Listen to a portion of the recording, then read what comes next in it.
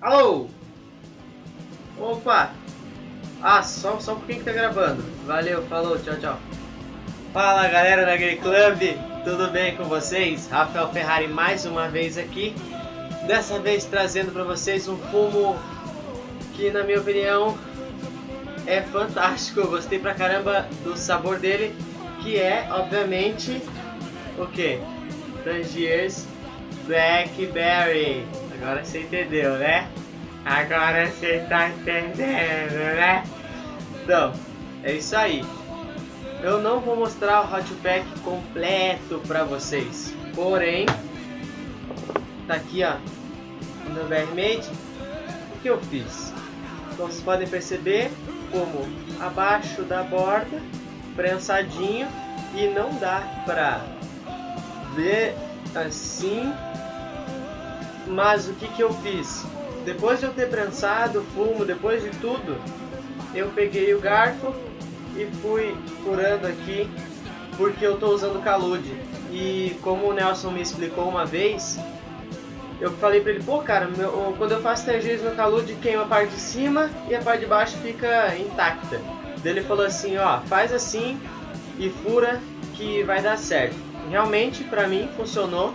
Queima o fumo por completo, não digo queima, mas utiliza o fumo por completo e tá aqui, ó. Beleza? Este fumo é da linha Noir.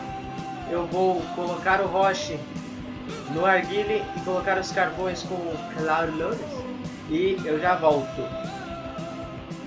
Voltei aqui, galerinha, no mal. Então, uh, ah, para lembrar vocês, Blackberry Noir, ok? Sobre o cheiro do fumo, é bem próximo à mora mesmo e lembra bem aquelas balinhas de amorinha que eu vou colocar a imagem agora. Então, é isso aí. Lembra bastante aquele cheiro da, da, daquelas balinhas. É delicioso, cara. Deixa eu mostrar para vocês agora a fumaça e falar sobre o sabor também. Vamos lá.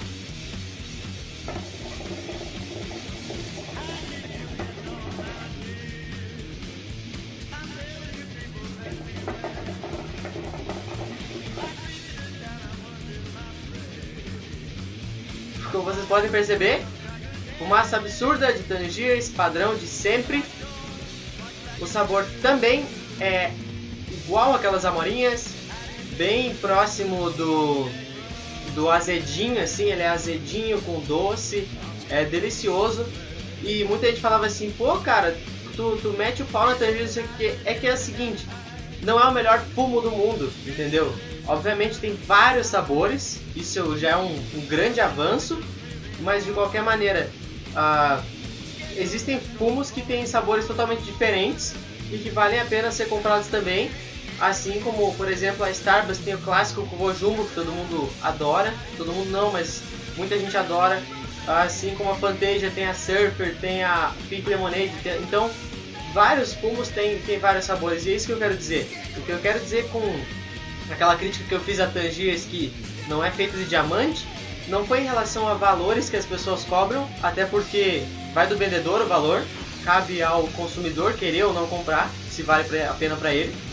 E o que eu quero dizer é apenas que não é o melhor fumo do mundo, todo mundo ah, ah, coloca Tangiers num patamar assim onde, por exemplo, teto de vidro total, assim, não pode nem é, falar da Tangiers por causa que é uma coisa horrível. E na verdade não é assim, não é o melhor fumo do mundo.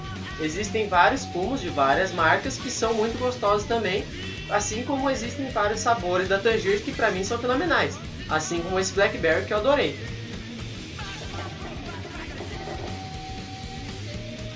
Mas é isso, galera. Fumo delicioso. Eu achei fantástico, eu comprei para testar e acabei gostando bastante. Provavelmente vou comprar de novo. E fica a dica para vocês aí, Blackberry. Não sei se na Big Quick vai ter, mas a Danoa é fantástico. Beleza, rapaz? Então é isso aí. Um abraço e até a próxima review. Falou!